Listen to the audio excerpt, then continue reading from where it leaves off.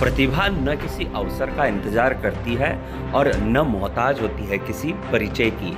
एक सामान्य परिवार से संबंध रखने वाली पुष्कर की अक्षिता गौतम ने साबित कर दिया कि प्रतिभा संसाधनों की मोहताज नहीं होती। उदयराम मेमोरियल शिक्षण संस्थान की छात्रा अक्षिता गौतम, पुत्री अमोलक गौतम ने राजस्थान माध्यमिक शिक्षा बोर्ड के सेकेंडरी के घोषित परिणामों में छिन्नवे दशमलव आठ तीन प्रतिशत अंक प्राप्त कर विद्यालय, परिवार और नगर का नाम रोशन किया। अक्षिता ने बताया कि वह इंजीनियरिंग सेवा के माध्यम से देश की सेवा करना चाहती है। अक्षिता प्रतिदिन सात से आठ घंटे तक पढ़ाई करती थी।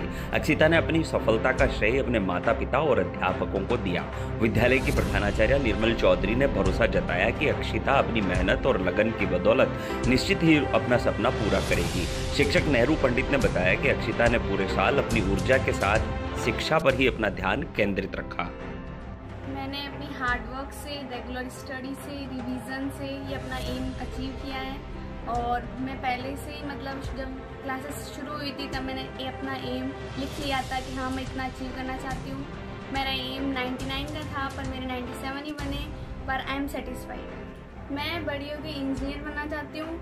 ये मेरी लाइफ का एम है और साइंस में सब्जेक्ट लेना चाहती हूँ इसलिए, और इंजीनियरिंग के फ़ील्ड में ही आगे बढ़ना चाहती हूँ।